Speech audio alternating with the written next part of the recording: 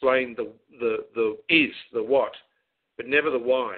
When you look at the hydrohelio matrix, it explains the why mass is mass. So when I say to you that if one point of UCA, unique collective awareness, within one uniter, the smallest unit of matter, cease to exist in unique dimension and position, if one point of that ceased to exist, the entire universe would cease to exist. How absurd then is the thought that you are insignificant? How stupid is it if we if, if we allow these people to continue to convince us that we're nothing? You are literally everything. You are part of everything. Now, if you want to take a, a, piece of wisdom that uh, some Buddhists, Buddhists say, they say before enlightenment you chop wood and you carry water, and after enlightenment you chop wood and you carry water. And to many, that probably sounds like a, a, pretty arrogant thing to say from someone who's never reached enlightenment because we're all taught that if you reach enlightenment, if you reach that magic moment where you know everything, everything will be okay. No, you're living. And because you're living, you're breathing, you're eating, you're excreting, you're dying, you're interacting, you're arguing, you're laughing, you're living. And the meaning of all is awareness loves life. So, yes, you are everything. Yes, you could call yourself the divine immortal spirit, and in some cases we tell them that, and you are that. You're not lying when you tell them that, and you are that. And the fact that they ignore that is their own ignorance and image training proving to you that you're dealing with robots. Miserable, unhappy robots. But living your life walking around saying, I am God, I am divine, really doesn't get you anywhere. At the end of the day, so is everyone else.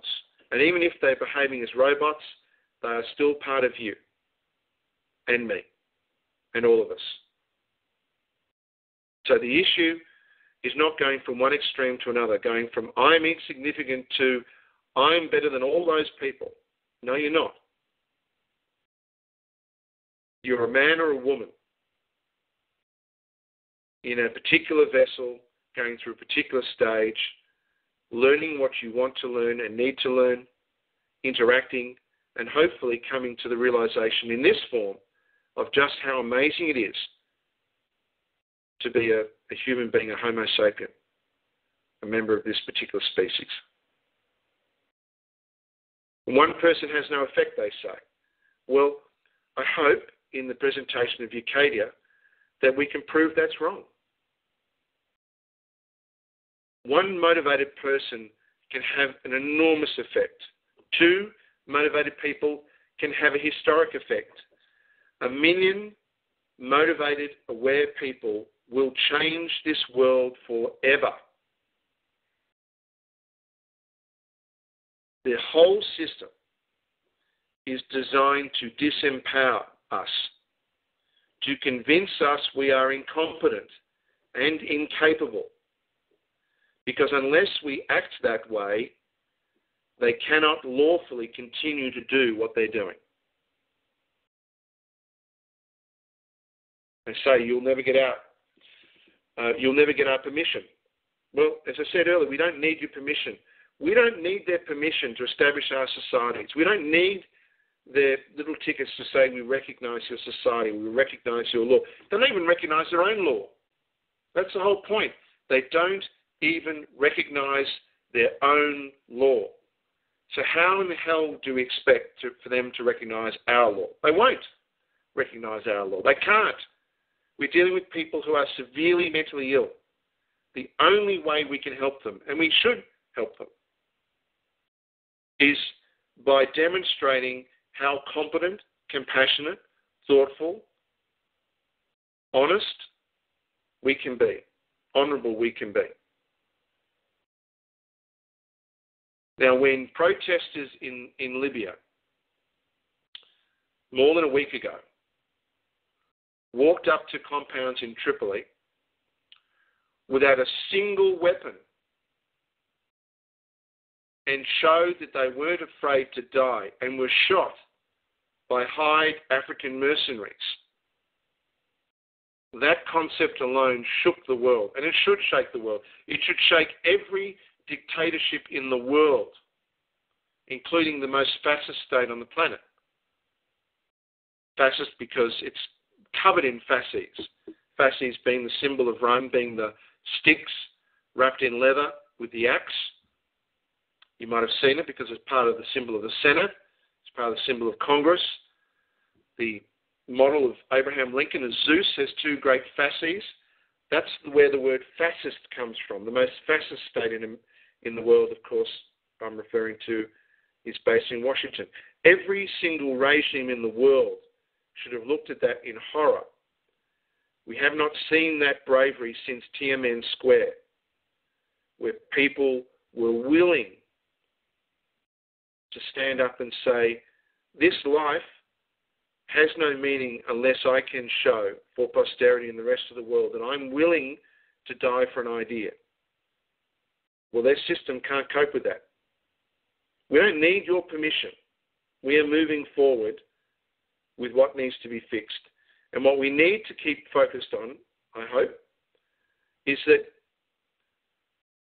the ending of a regime can happen in a day. But what has rarely happened is that people have taken the time to plan what comes next. What is the next idea? And in the absence of that work, the parasite always finds a home.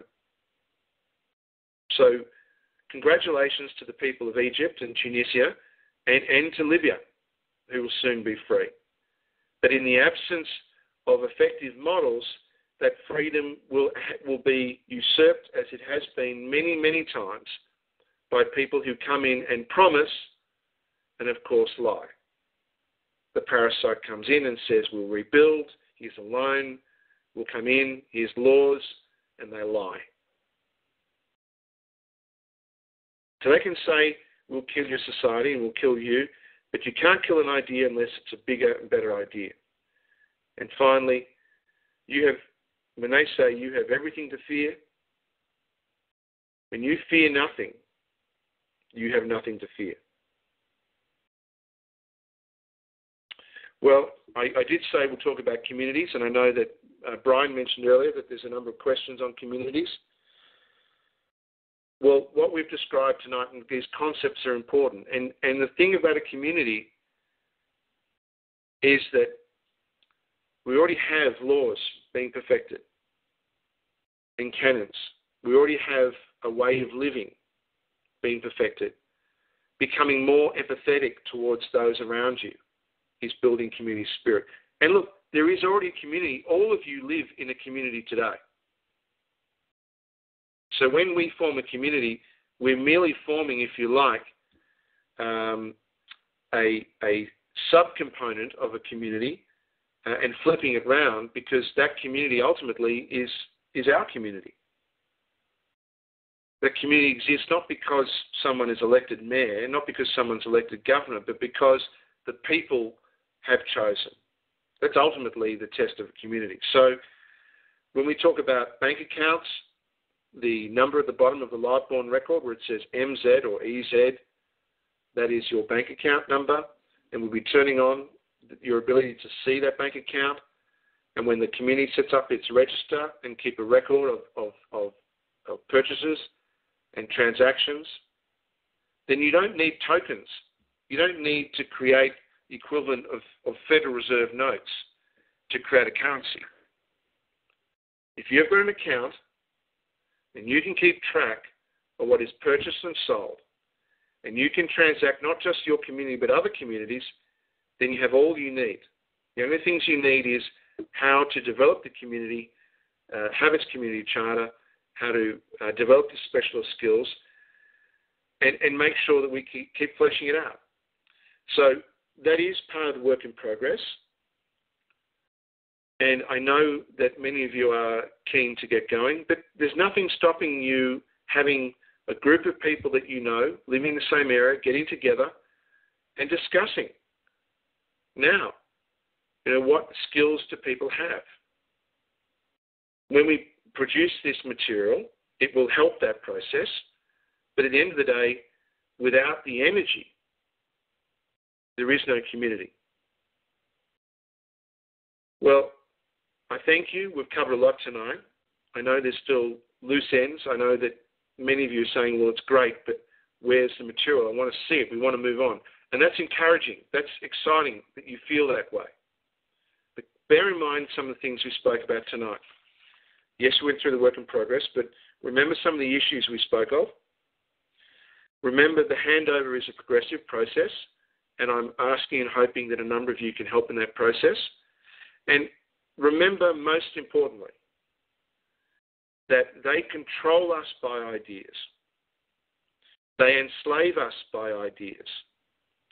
And it is only when we embrace and contribute to these ideas can we free ourselves. And as Victor Hugo once said, and I hope I don't misquote him, invading armies can be defeated, but nothing can withstand an idea whose time has come. This is the time. Thanks, and I look forward to your questions. Fire away. Thanks so much, Frank. Uh, words of wisdom for sure.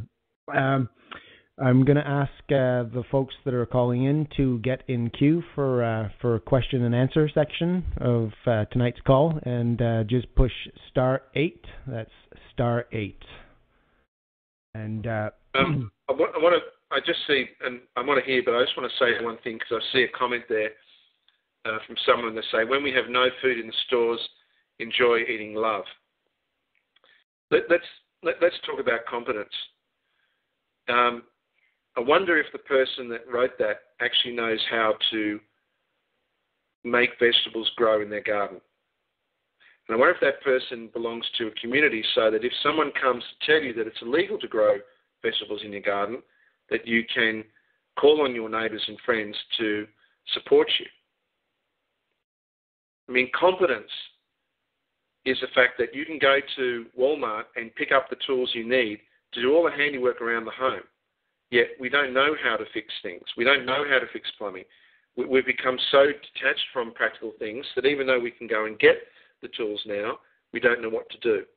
In no point have I said in any point here, in anything tonight, that we're dealing with airy fairy concepts.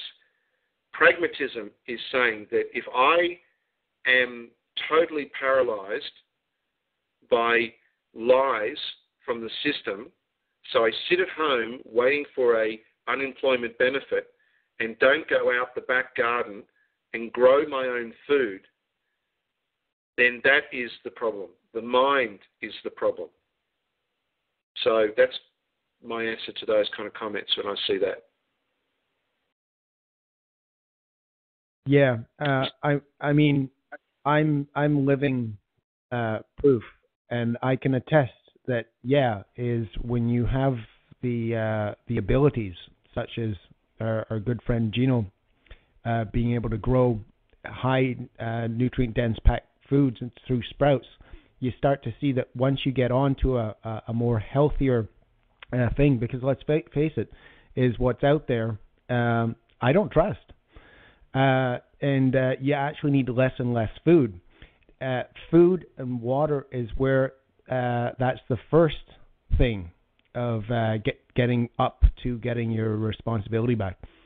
Um, again, is uh, star eight for anybody that wants to ask some questions for Frank. Okay, while we're waiting, I see a question from uh, Paris B.